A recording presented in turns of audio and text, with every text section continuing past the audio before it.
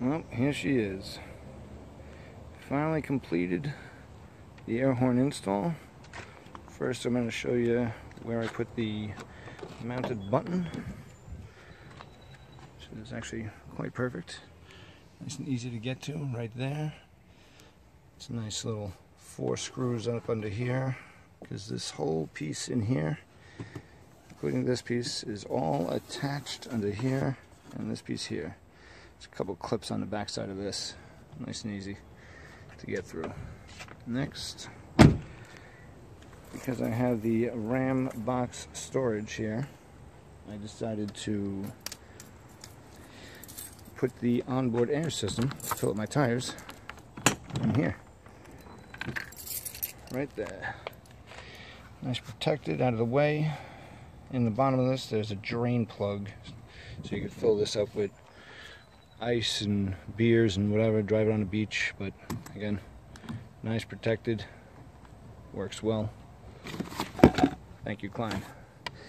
And again, that just gets mounted underneath here, all the way up to there, traveled along underneath. So come to the front here, where the actual horns are installed bear with me. I'm not trying to make you dizzy. Here we got the horns right here with the mounting bracket. This side wasn't too bad. I got my grounds mounted here. No issues with that. Worked pretty well.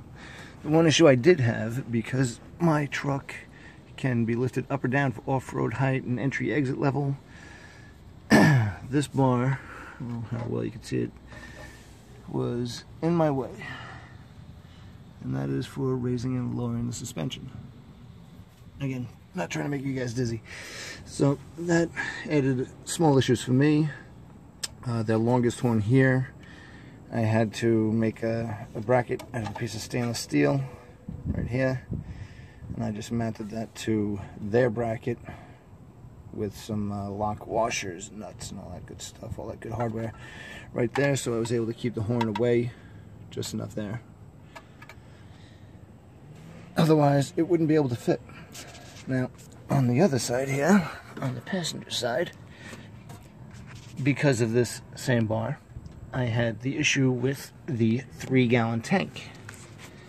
So I called Kleinn and they were great about it. They sent me a smaller tank. Unfortunately, it's what I had to go with.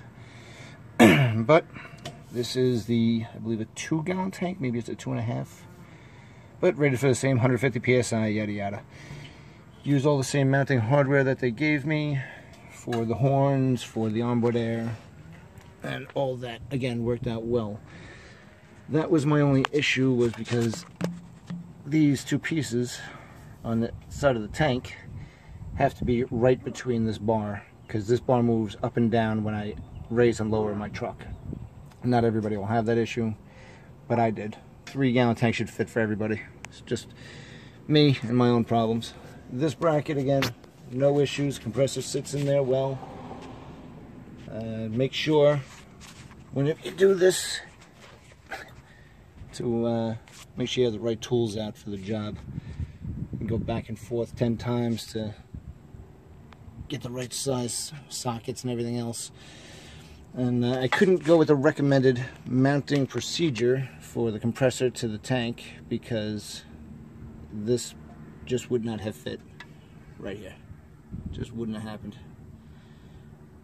Unfortunate, because it would have been a lot easier to attach the compressor to the tank itself.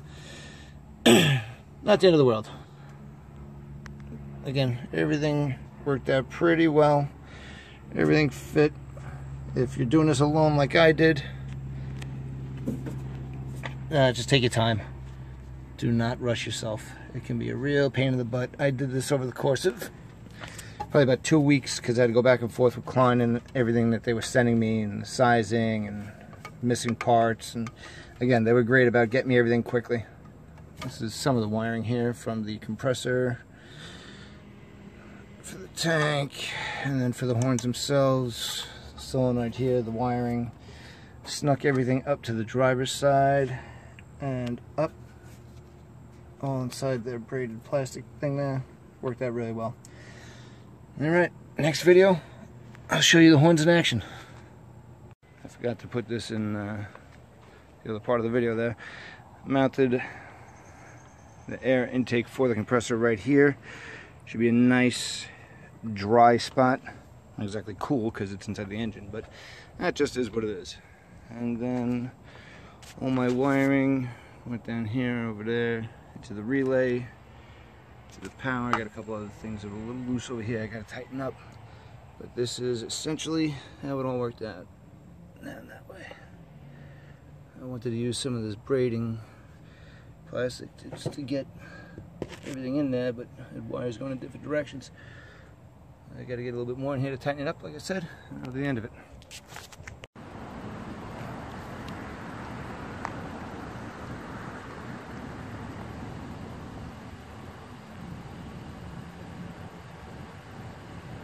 Bye.